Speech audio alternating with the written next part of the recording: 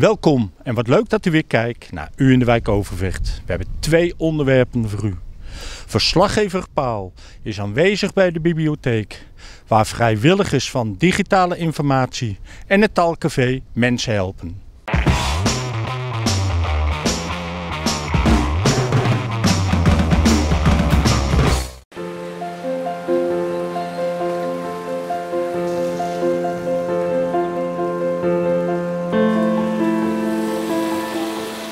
Vandaag zijn we in de bibliotheek waar we kennis maken met vrijwilligers die hier in de bibliotheek mensen helpen met digitale informatie voor hun telefoon of laptop of computer. Maar ook mensen die problemen hebben met taal en meer van de Nederlandse taal willen leren. We gaan eens kijken wat ze hier allemaal doen.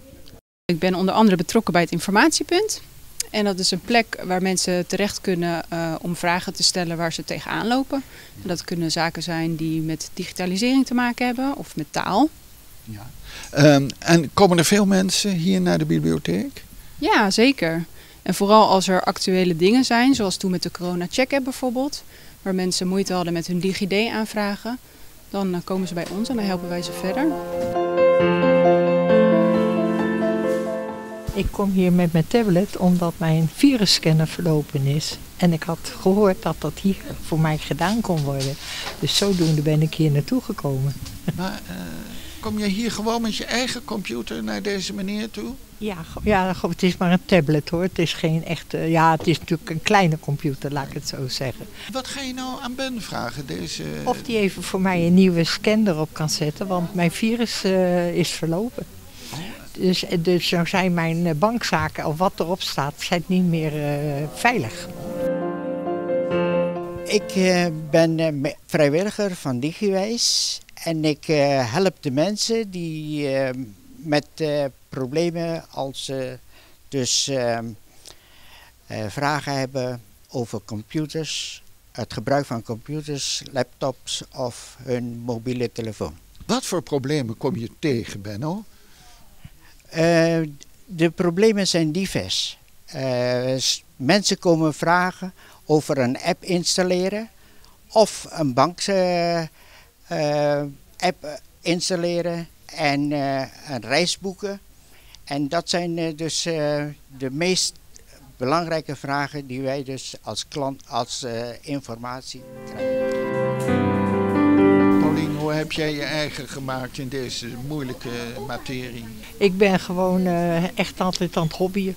Ja, ja. En, eh, of op mijn uh, tablet. En ik uh, doe heel veel met diamond painting en met breien. Ja, ja. Dus zodoende ben ik eigenlijk altijd bezig geweest. Maar Paulien, zit jij vaak in de digitale wereld?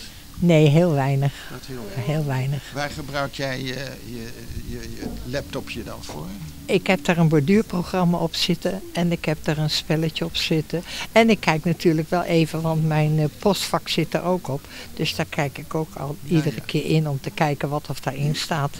Ik uh, ben hier twee keer in de week, zijn wij open voor mensen die advies willen, die de taal willen leren of de taal willen verbeteren. Of uh, hun kinderen willen helpen met de Nederlandse taal. Die kunnen hier komen om te vragen waar ze dan terecht kunnen. Gaat het hier om Nederlandse taal? Ja, het gaat hier om het leren van de Nederlandse taal. Uh, en dat kan op verschillende manieren. Er zijn heel veel manieren. Uh, en het is ook belangrijk dat je weet, moet je nog inburgeren of wil je gewoon het Nederlands verbeteren? Deze is op donderdagmiddag, 1 uur tot 5 uur. Maar je kunt ook op vrijdagmorgen 10 uur tot 12 uur. Oké. Okay. En je kunt het is gratis. Je kan gewoon binnenkomen en gaan we vooral praten. Oh, okay. Tot slot de onthulling van de struikelstenen in Westbroek en Achttienhoof. Wat dat met Overvecht te maken heeft, dat gaat u zien. Verslaggever Pim doet verslag.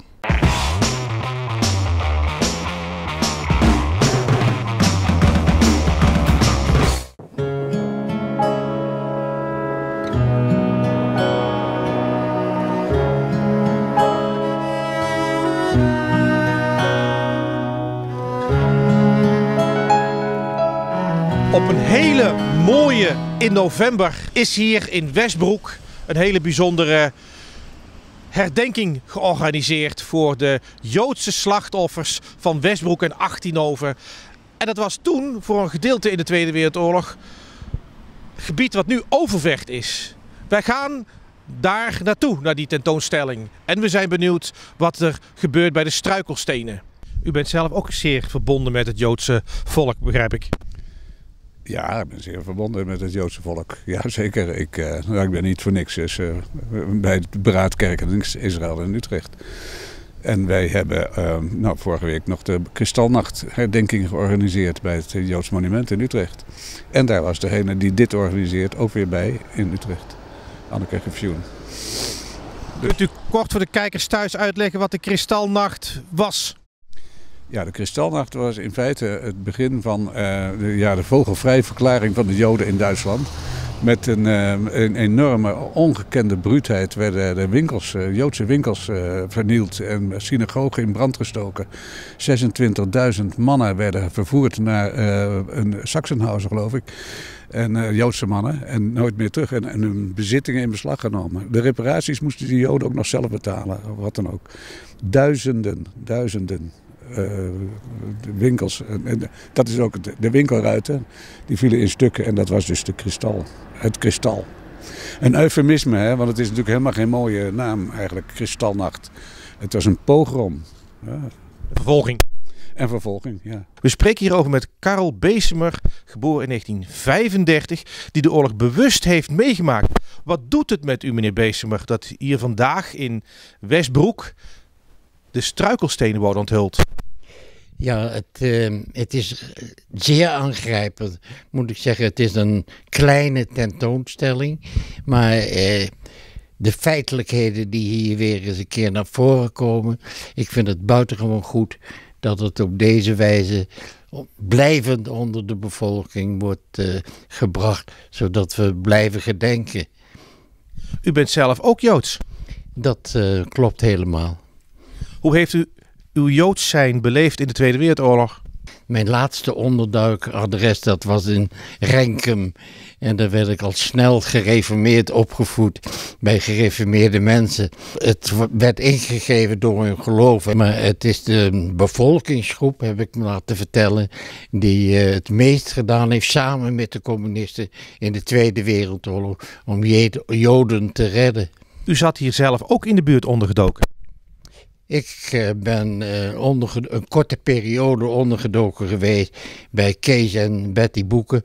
Eigenlijk wereldberoemd zijn die twee uh, vanwege hun hulp aan Joodse kinderen voornamelijk.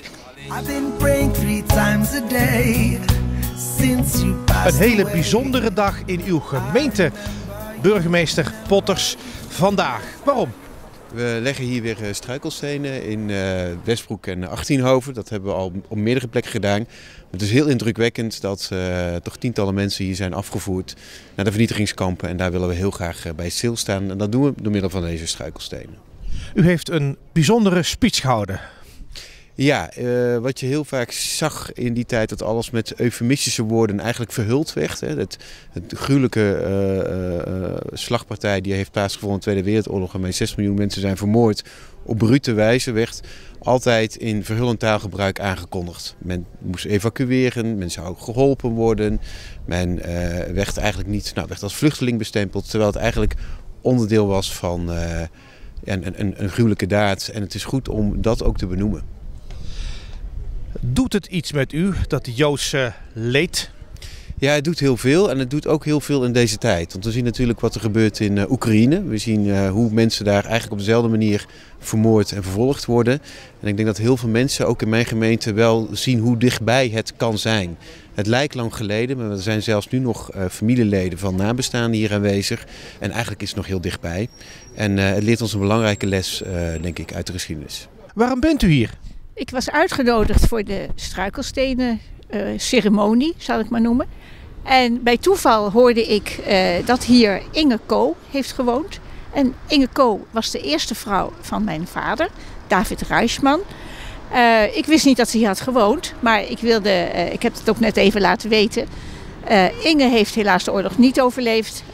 ze is in Bergen-Belsen uiteindelijk in januari ja, ten onder gegaan. Dat, dat weten we niet, maar ze was maar 23 jaar. Ze is met mijn vader, vader in Westerbork, dat kon toen nog, getrouwd. Mijn vader heeft de oorlog overleefd. En gelukkig, want anders was ik er ook niet geweest. En uh, ik ben dus hier met mijn kleindochter om uh, even bij die struikelstenen aanwezig te zijn. En ik was dus eigenlijk verrast uh, dat het over Inge Ko ging. 21 Joodse mensen in deze kleine gemeenschap hebben het niet overleefd. Wat doet dat met u?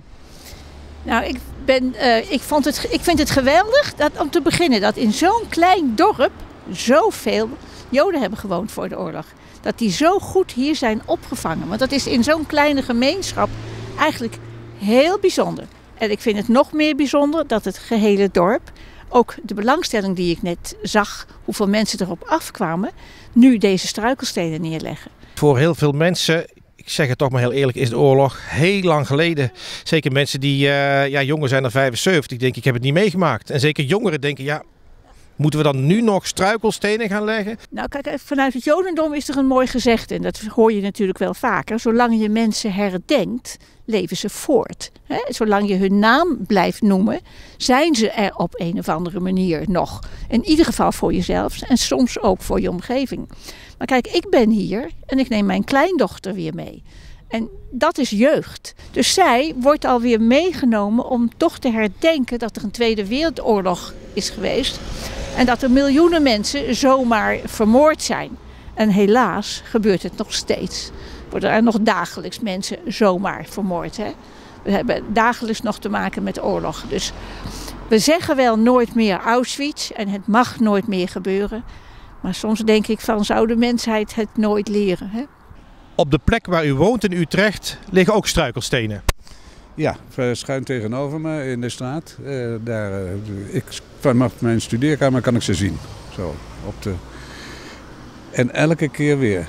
En dat is ook echt elke keer weer. Als ik daar overheen loop naar huis nadat ik een boodschap heb gedaan. Ja, dan kijk ik even naar die namen. En dan denk ik, hoe zou het toch zijn geweest die laatste keer dat je dan hier de deur achter je trekt. Of ja, dat doet een SS'er misschien, of wat dan ook. Het, het, raakt me enorm. En ik vind het heel mooi dat ik een paar jaar geleden, toen ik hier dus uh, werkte, uh, of iets deed. En toen uh, ja, dacht ik ook aan die struikelstenen. Zijn er hier ook Joden weggevoerd? Ja, was het antwoord. En ja, zodoende was ik erg blij dat er een, een groep werd opgericht. Hier heet hier Israël in de kerk. Maar verbonden met kerk in Israël, zeg maar. Zoals wij dat doen in Utrecht. Ik heb uh, twee uh, hele lieve ouders gehad. En mijn vader, waarvan ik net wel zei dat hij heeft overleefd, heeft hij ook. Maar hij heeft ook Auschwitz overleefd. Hij is daar bevrijd door de Russen. En heeft daarna zo'n dodenmars gehad door de sneeuw naar Odessa voordat hij terug naar Nederland is gekomen. Maar heeft ons nooit, nooit haat mee ingebracht. Integendeel, maar altijd gezegd: ik heb overleefd en dus ik zal het leven leven. En ons had ook meegegeven. Geniet alsjeblieft, ga naar een feestje. Het leven moet weer een feestje worden. Dat is ongelooflijk wat hij ons meebracht. Hij had natuurlijk een nummer op zijn arm, wat in Auschwitz gebeurde. En toen mijn, eh, mijn dochter, dus niet mijn kleindochter, maar mijn dochter ooit aan mijn vader vroeg van... Nou, opa, wat is dat? Uh, ja, toen was net de tijd van de mobiele telefoon. Hè. Dan werd er wel gezegd, je is je mobiele telefoonnummer. Hij heeft het ook nooit weg laten halen. Dat had hij wel meegemaakt. Dat had hem wel gevormd. Maar heeft nooit uh, uh, de vreugde in het leven verloren. En ik ook niet. Ik hoop dat u het leuk hebt gevonden. Heeft u een vraag of een tip? Ga dan naar overweg.uindewijk.nl. De filmpjes terugkijken, dat kan op uindewijk.nl. Bedankt voor het kijken en tot de volgende week.